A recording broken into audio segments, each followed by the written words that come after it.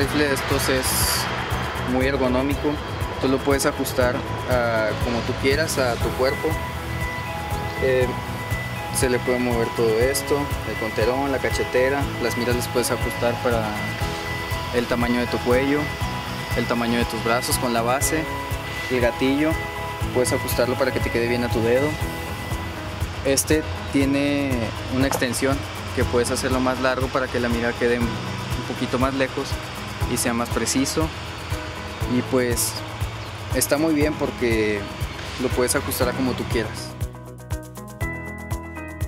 Son diferentes, depende de la marca, el modelo. Hay unos que valen hasta 70 mil pesos y pues se pagan en euros.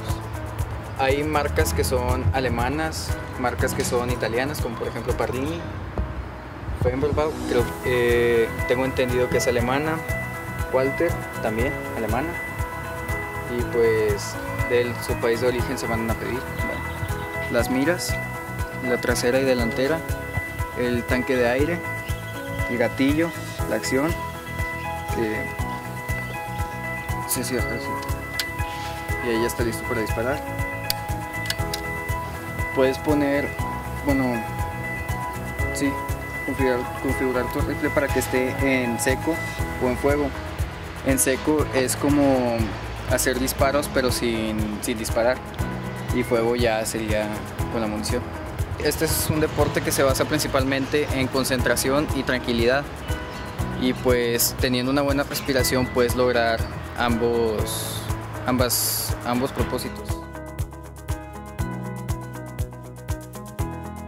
Para la posición de tiro eh, depende mucho de tu complexión, el tipo de cuerpo que tengas, la posición que vas a adoptar.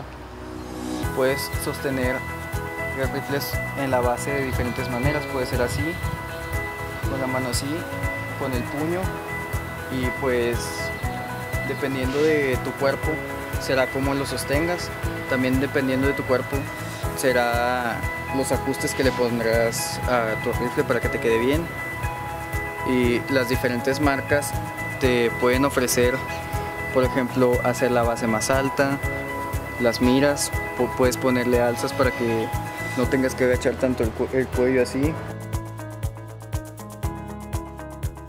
El mío pesa, le calculo unos 3 kilos y medio, pero el máximo peso que puede tener un arma para una competencia de aire son 5.5 kilogramos. Entre más peso le pongas, eh, tendrás más estabilidad, se te moverá menos la punta.